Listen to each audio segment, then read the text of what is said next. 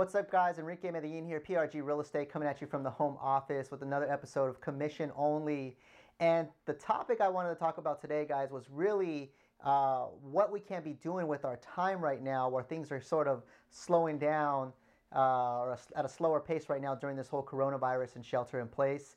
If you're like me and many agents all over, you know, the country, uh, things have just slowed down, right? There's not as many transactions happening, uh, or there's a lot of buyers and sellers who are saying, "Hey, I want to wait until you know until things calm down." Uh, that's definitely happening, right? So you know we're working hard right now to try to generate as much business as we can and talking to more people, but uh, for a lot of people, it is a slower time. We have more time on our hands than we normally would simply because we're working from home uh, or the amount of volume is not there as, as we normally would have. So uh, I want to talk about today of what you can be doing with your time right now while it's a bit slower for a lot of people. So I first off want to establish, guys, that this downtime that we have, uh, it's actually an opportunity. It's an opportunity where we can really focus on working on our business instead of working in our business like we normally are. You know, when you're working on your business, that's when you're out with clients, prospecting, doing all the things for the day to day.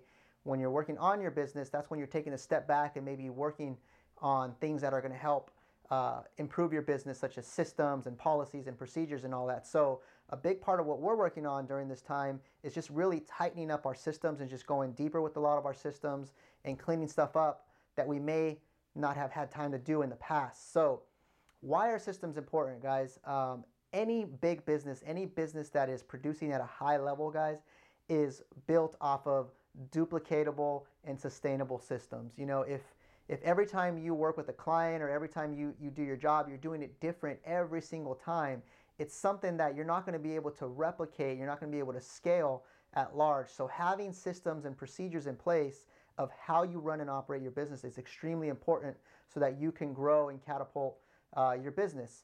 Um, and, and when the systems are built, then the business isn't solely relying on you and all of your efforts, it's relying on the systems uh, to help you know keep the business going and keep producing and, and scale at a high level. So um, some of the systems, guys, just some ideas of what you can be working on right now are two of the things that we're we're working on. So one of them is our lead management system. And you know we do different types of online marketing, uh, different platforms where we get leads from. And even if you're just getting referrals or open houses, however you're generating leads or prospects for people who want to buy and sell, uh, I recommend, and it's extremely important that you have some sort of lead management system, right? That's the exact policy or outline of when a lead comes in, what do you do with that lead? Are you entering that into a, a CRM? Are you using spreadsheets? How do you handle that lead from the initial inquiry to when you set an appointment to meet with that lead? What happens after you meet with that appointment? What are the things you are doing to try to convert that lead at a high level? And then once that client uh, decides to work with you and commits to, to working with you, what are you doing after that to ensure that the client is being serviced at a high level and to ensure that none of the steps are, are, are getting lost? Nothing is being uh, is slipping through the cracks. Everything uh, you're giving the same service, the same level of service, the same experience to every single client or lead uh, every single time. So lead management system, guys, that's extremely important. It's something where you can take this downtime and really just map out a game plan of what you're going to do every single time you get you get a lead. Um, what happens when we get a lead a lot of times is the client may not be ready to transact. They may make an initial inquiry and they may be three months, six months, a year out. So how are you going to ensure that that client uh, remembers who you are? How are you going to stay top of mind? And what are you going to do to uh, convert that lead in the long run, right? So that's what the lead management policy is all about. We're going deep into our CRM that we use. We use FirePoint. Uh, there's a lot of great CRMs out there, but we're just really going in there and cleaning up the whole system, making sure every lead is categorized.